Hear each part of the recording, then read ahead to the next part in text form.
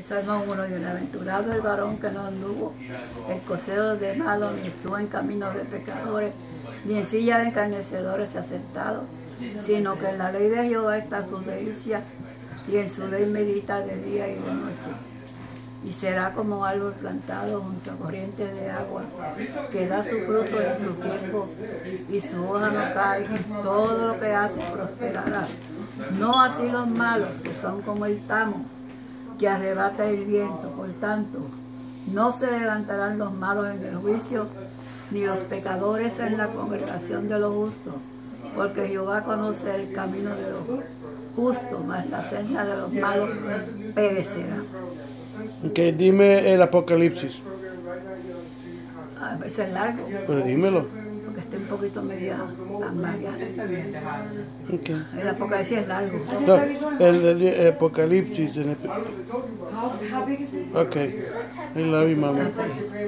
Génesis, los nombres de los libros de la Biblia.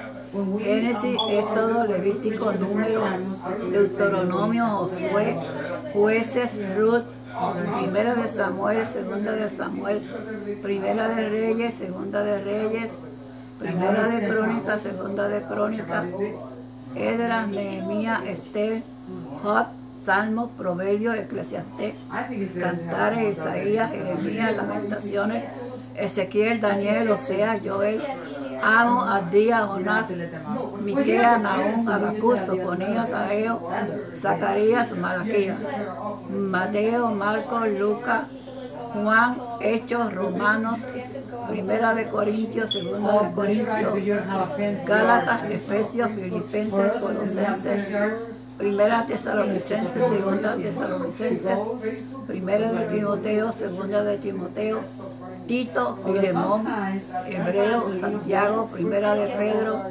Segunda de Pedro, Primera de Juan, Segunda de Juan, Tercera de Juan, Judas, Apocalipsis. Y ahora te recuerda que tú citas sobre el Génesis y hace la comparación de Génesis, Apocalipsis. La Biblia es toda una sola historia. La última parte del último libro de la Biblia no parece sino el fin del relato que se comenzó en el primer libro de la Biblia. La primera palabra del Génesis. En el principio creó Dios los cielos y la tierra. Casi la última palabra del Apocalipsis. Y vi un cielo nuevo y una tierra nueva. Génesis. Y a la reunión de las aguas la llamó mares. Apocalipsis, y el mar ya no es. Génesis, y a las tinieblas las llamó noche. Apocalipsis, allí no habrá más noche. Génesis, e hizo Dios las dos grandes lumbreras, sol y luna. Apocalipsis, no habrá más necesidad ni de sol ni de la luna, porque la gloria de Dios la ilumina para siempre. Génesis, en el día que de él comiera, ciertamente morirás. Apocalipsis, la muerte no será más. Génesis, multiplicaré tus dolores. Apocalipsis, allí no habrá más dolor. Génesis, maldita sea la tierra por amor de ti. Apocalipsis, allí no habrá más maldición. Génesis, Satanás aparece como el engañador de la humanidad. Apocalipsis, Satanás desaparece para siempre.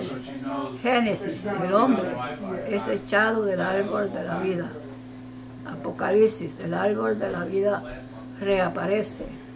Génesis, el hombre es echado de la presencia de Dios. Apocalipsis, vean sus rostros. Génesis, el hogar primitivo del hombre es un huerto junto a un río. Apocalipsis, el hogar eterno del hombre redimido junto a un río que eternamente fluye del trono de Dios. Gloria a Dios, aleluya. Ahora voy a decir las siete bienaventuranzas del Apocalipsis. Bienaventurado el que lee esta profecía.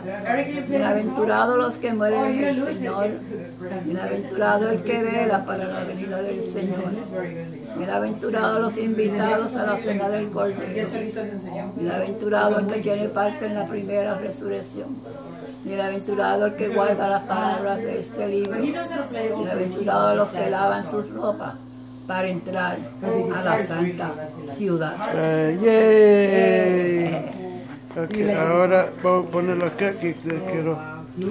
¿Qué? No, que quiero darte un besito. Mira, un besito, mamá. Ay, la mamá, yo bendigo a mi madre que es temerosa de Dios y a mis padres.